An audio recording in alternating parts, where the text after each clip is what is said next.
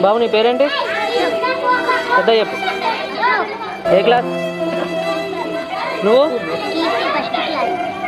వీళ్ళు ఎక్కడ దొరికారు సార్ మీకు? వీళ్ళు ఫాదర్ వచ్చి వీళ్ళ మదర్ని చెప్పడం జరిగింది. అప్పుడు ఏంటంటే త్రీ ఇయర్స్ బ్యాక్ ఒక డాక్టర్ గారు తీసుకొచ్చి వీళ్ళు జాయిన్ చేశారు. వీళ్ళ ఫాదర్ ఇప్పుడు జైల్లో ఉన్నాడు. వీళ్ళ పేరెంట్స్ అది ఎవరు చూడడం కదా ఎవరు రావట్లేదు. మదర్ పేరు ఫాదర్ జైల్లో ఉన్నాడు.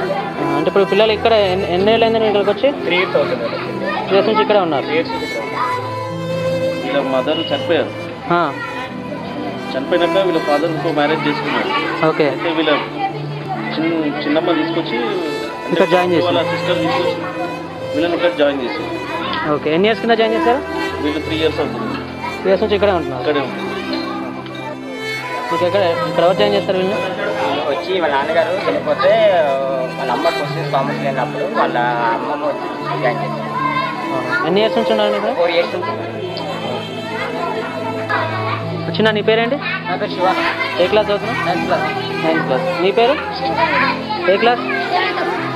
సార్ వీళ్ళు ఇక్కడ ఎలా జాయిన్ అయ్యారు?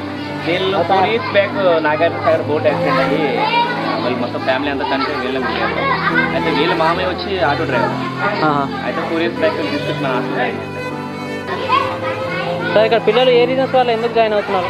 కారణాలు ఏంటి వాళ్ళు ఫాదర్ చనిపోయి తర్వాత మదర్ చనిపోయి ఎవరో వాళ్ళు మొత్తం హాస్పిటల్స్ ఉంటారు తర్వాత వాళ్ళ బ్యాక్గ్రౌండ్ అది ఎవరు ఏం లేదు. వాళ్ళు చూడడానికైనా మొత్తం వాళ్ళ చుట్టాలు బంధువులు ఎవరు అని వాళ్ళు తీసుకొచ్చి మన అనాథాశ్రమంలో ఉంటారు ఓకే. మీరు ఆర్గనైజేషన్ ఎట్లా మెయింటైన్ చేస్తున్నారు సార్? డొనేషన్స్ ఎట్లా వస్తుంది ఇంతమంది రెగ్యులర్ డోనర్స్ ఉన్నారు కొత్తసారి ఆర్గనైజేషన్ వాళ్ళు ఉన్నారు. లయన్స్ క్లబ్ వాళ్ళు ఉన్నారు. అలానే కొంతమంది మా వాలంటీర్స్ బయటకు వెళ్తుంటారు. వాళ్ళ త్రూ ప్రచారం అయ్యి కొంతమంది పిల్లలు బయట నుంచి ఇక్కడ మన దగ్గరికి వస్తున్నారు. అనాథ ఓకే మీ ఆర్గనైజేషన్ ఎన్ని నుంచి రన్ చేస్తున్నారు సార్ మీరు.